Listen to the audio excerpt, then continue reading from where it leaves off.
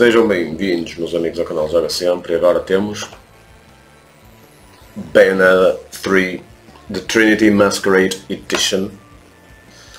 Como podem ver. Impact. Aqui tem o preço, mas não foi este. Foi muito mais barato. Um, o que é uma maravilha.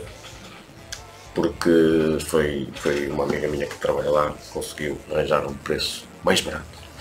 Então um, foi por isso que não recebi logo no dia do lançamento, porque eu tinha recebido, mas depois devolvi a edição porque o preço era muito maior e ela conseguiu o desconto. E então eu disse, opá, está tudo, um, não vale a pena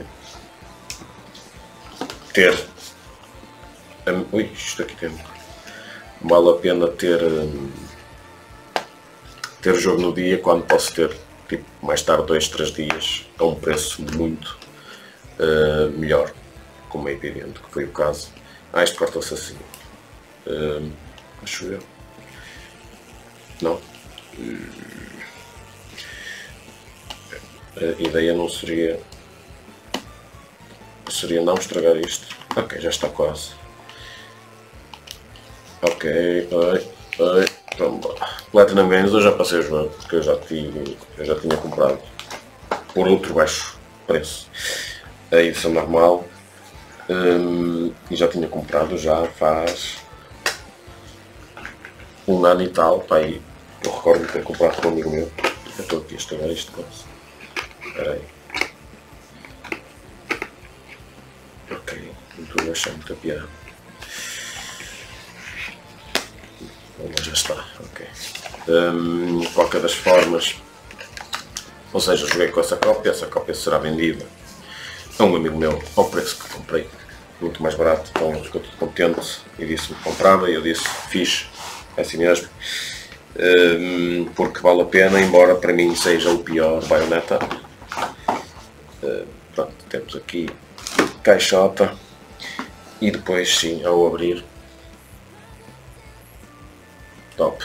E o que é que tem de fixe isto? Tem aqui atrás, como podem ver, isto podem pousar assim em exposição. Um, opa, estas edições da Nintendo são sempre belíssimas, por isso. Isto aqui, eu não sei o que é que traz sinceramente a edição.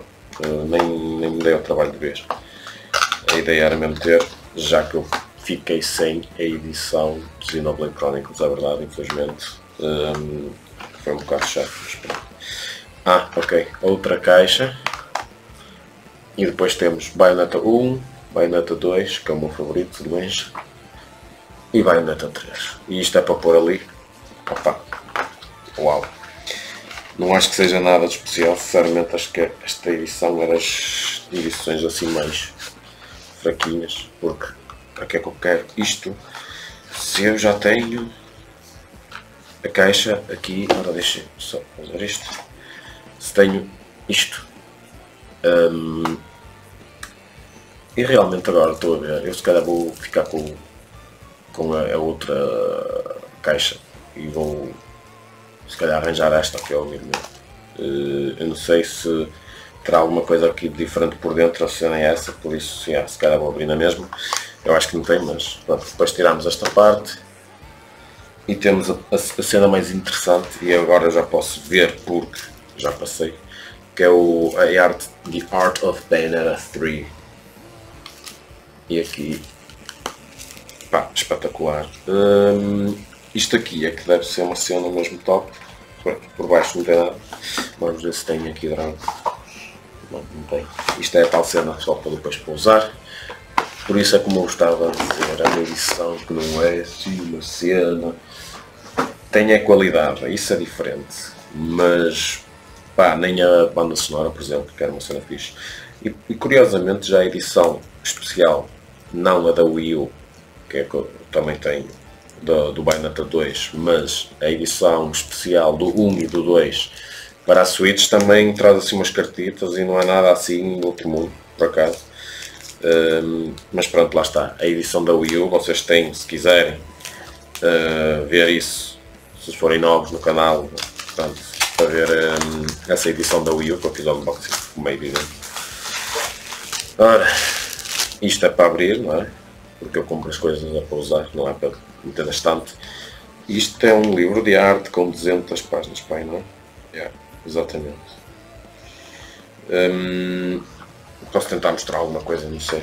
Uh, olha o Strider, Strider, é esse Strider. É. Os Demons. Toma a ideia, está-se bem. As Weapons, como é evidente. E. Um, Pronto, isto não é propriamente spoiler, não sei quantos vocês é que vão jogar ou jogar. Por isso.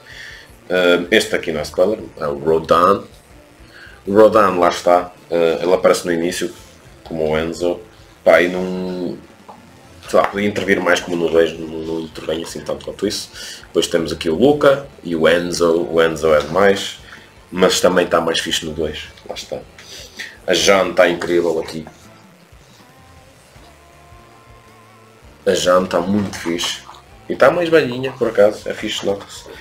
Esta é a personagem nova, não vou dizer quem é, como é evidente, mas esta é a nova personagem com que jogam e que tem uma jogabilidade, jogabilidade muito fixe. A Diora. A violar a vossa cena toda. Vamos ver onde é que está a nossa Bayonetta. Bayonetta. Até o, o próprio ecrã de menu não está assim tão fixe quanto isso também no 3, pronto, aqui está bem, não é? O design também está, pronto, aí está fixe.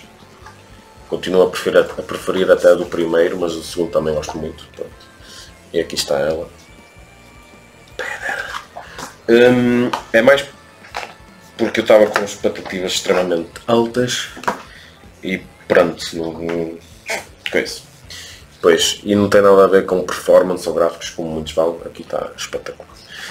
Uh, é mais mesmo a história assim, no fundo, uh, que não, pronto, não curti assim tanto como os outros, mas depois temos os tais mini-jogos da Jean que são espetaculares e, e, uh, e, pronto, é sempre espetacular um Bayonetta. É, também é mais fácil que os outros, também.